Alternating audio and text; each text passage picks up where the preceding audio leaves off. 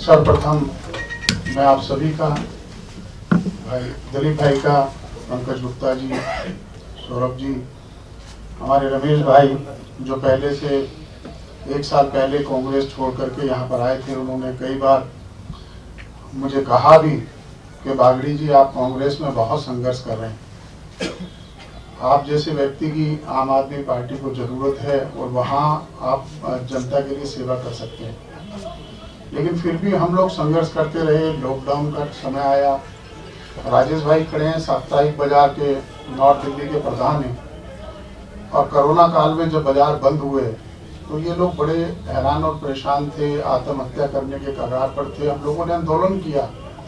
Bharatiya Janata party के लोग गुमराह करते रहे कि दिल्ली सरकार की ज़िम्मेदारी है। और हम कांग्रेस के नेताओं से कहते रहे कि इन गरीबों का हनन हो रहा है, आला कमान को। लेकिन वो बड़ी ऐसी रूम की राजनीति करते हैं।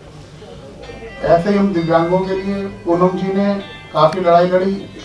सदन के अंदर अकेली पार्षदा खड़ी थी दिल्ली के अंदर, जो है एमसीडी जबकि दिल्ली सरकार ने, अरविंद केजरीवाल जी की सरकार ने टाउन वेंडिंग कमेटी का गठन किया है। उसमें विकलांगों को खोखा देने का प्रावधान है, लेकिन एमसीडी वाले दे नहीं रहे। और हम कांग्रेस में कहते रहे कि इस बात की लड़ाई को लड़िए लेकिन कांग्रेस के लोग गरीबों की लड़ाई लड़ने को तैयार नहीं आखिर बहुत ही दुखी मन से हमने कांग्रेस को छोड़ा और हमें लगा। भाई रमेश जी ने भी हमें कई बार कहा। और जब भी हम आम आदमी पार्टी के कार्यकर्ताओं की तरफ़ देखते हैं, नेताओं की तरफ़ देखते हैं, जो उनका साधारणपन है, और बहुत ही काबिल तारीफ़ है, और जो केजरीवाल जी और जो दिल्ली के अंदर हमारे डिप्टी जो मुख्यमंत्री मनीष सिसोदिया जी और सभी विधायक जो साधारणपन उनका जो सरकार का दिखता है आसानी से उनको मिल लेना और उनकी बात को सुनना। हमने अक्सर ये देखा कि जब कांग्रेस का भी शासन था तो शिकायतें जब भी कमियाँ होती थी, हम लोग करते थे। कभी जवाब प्राप्त नहीं होता था, कभी फ़ोन नहीं आता था। लेकिन हम सबसे ज़्यादा सरकार से इस बात से प्रभावित है कि अगर हमने कोई शिकायत की है तो उस पर कार्रवाई होती है और हमसे पूछा जाता है। एक आम आदमी से पूछा जाता है कि आपका काम हो गया है, आपकी कंप्लेंट को बंद कर दें। तो मुझे लगता है कि इस देश के अंदर अगर नरेंद्र मोदी जी को कोई रोक सकता है तो भाई वो अरविंद केजरीवाल जी रोक सकते हैं, आम आदमी पार्टी और ये हमारे भी मन में बात आई है, हमने देखा है कि ये लोगों की मजबूरी थी कि वो नरेंद्र मोदी के खिलाफ कांग्रेस को लेकर के आते थे, क्योंकि दूसरा विकल्प नहीं था। जिस जिस देश के अंदर, प्रदेश के अंदर तीसरी पार्टी का उदय हुआ है उस उस प्रदेश के अंदर कांग्रेस का खात्मा हुआ है। अभी मैं और पूनम जी हरिद्वार भी हम गए थे और हम वहाँ ई रिक्शा में भी बैठे, दुकानों में भी हम गए। तो वहाँ लोगों का सबका हमें बधाई देना चाहता हूँ कि हमने वहाँ पचास लोगों से पूछा तो पचास में से पचास लोगों ने ये कहा जी, बीजेपी बिल्कुल साफ़ होगी। हमने कौन आएगा? बोला, झाड़ू आएगी क्योंकि दिल्ली में बहुत कुछ तो मैं समझता हूँ कि आने वाले समय में पूरा देश केजरीवाल जी की नीतियों को, आम आदमी पार्टी की नीतियों को, उनके कामों की प्रशंसा करते हुए पूरा देश केजरीवाल जी को प्रधानमंत्री के रूप में देखना चाहता है और हम सब संगठन में रहकर पूरी मेहनत करेंगे, जो जिम्मेदारियाँ हमें दी जाएँगी, हम उसे बाखों के निभाएँगे।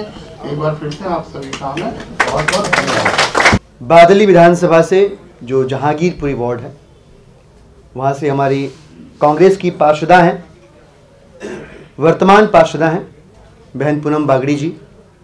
मैं पूनम बागड़ी जी का और इनके सभी साथियों का हार्दिक स्वागत अभिनंदन करता हूँ। इनके साथ अश्विनी बागड़ी जी जो सदस्य हैं। पूनम जी हाँ पूनम जी। अश्विनी बागड़ी जी सदस्य दिल्ली प्रदेश कांग्रेस कमेटी।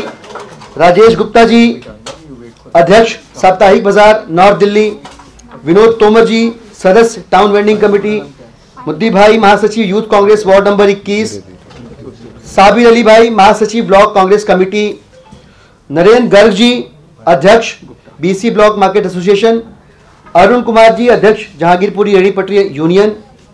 ये तमाम लोग पूनम जी और अश्विनी जी के साथ आम आदमी पार्टी परिवार का हिस्सा बन रहे हैं। मुझे पूरा विश्वास है कि इनके जुड़ने से, इस कुनबे में शामिल होने से ये कुनबा न सिर्फ़ बड़ा होगा, बल्कि मज़बूत होगा।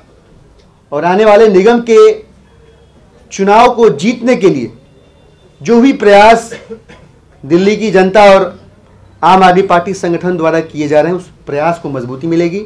हम सब सामूहिक तौर पर अपने लक्ष्य की ओर एक कदम और आगे बढ़ेंगे। मैं दिल से इन सभी साथियों का, पूनम जी का, अश्विनी जी का उनके साथ आए सभी साथियों का आम आदमी पार्टी परिवार में हार्दिक स्वागत, अभिनंदन करता हूँ।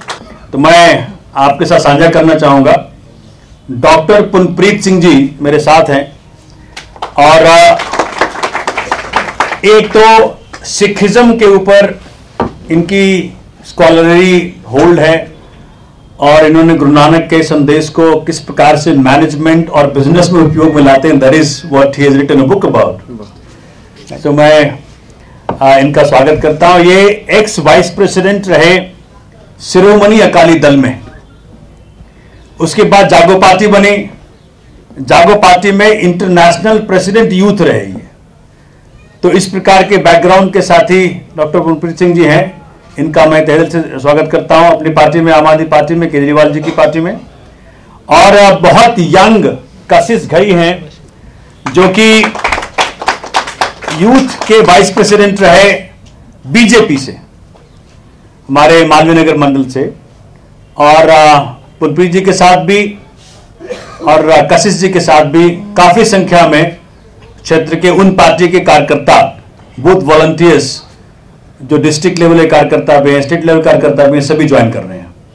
तो मैं तहे दिल से धन्यवाद करता हूँ कि इन साथियों ने इस पार्टी को चुना। तो और नाम रह गया वो पायल गुप्ता जी हैं, जो कि सोशल एक्टिविस्ट रही बहुत गहरे तक इनका साकेत में होल्ड रहा है आरडब्ल्यू में हर तरफ़। तो मैं उनका भी आज के दिन मतलब सामाजिक भी लोग भी, राजनीतिक लोग भी सब आ रहे हैं। इससे बड़ी बात क्या हो सकती है? उनका भी बहुत बहुत स्वागत क्यों ज्वाइन कर रहा हूँ और मैं क्यों करना चाहता था? बहुत टाइम से मैं सोच रहा था, मैं बीजेपी से, काफ़ी सालों से मेरे फादर मेरे ग्रैंडफादर बीजेपी संघ सबसे जुड़े हुए थे। आज मैंने ये पार्टी इसलिए ज्वाइन करी, जब ये आम आदमी पार्टी सरकार में आई तब से मुझे पता लगा कि एमएलए का घर कहाँ पे है। पहले हमें एमएलए का घर नहीं पता लगता था। आज रात को अगर को 11 बजे कुछ काम है मैं सीधा एमएलए के घर जाके नॉक करके बोल सकता हूँ चाहे मैं बीजेपी से हूँ चाहे मैं कांग्रेस से हूँ मैं कोई भी पार्टी से हूँ पर मैं एमएलए को पूछ सकता हूँ। तो जब एक एक नॉर्मल इंसान के अंदर एक पावर आती है कि आप एमएलए से कोई काम करवा सकते हो जो जो उनके हित में है, जो वो काम कर सकते हो और वो काम हो जाए सड़क के ऊपर तो उसका जो आपका रोल है और इम्पैक्ट है आपके ऊपर बहुत ज़्यादा पड़ता है।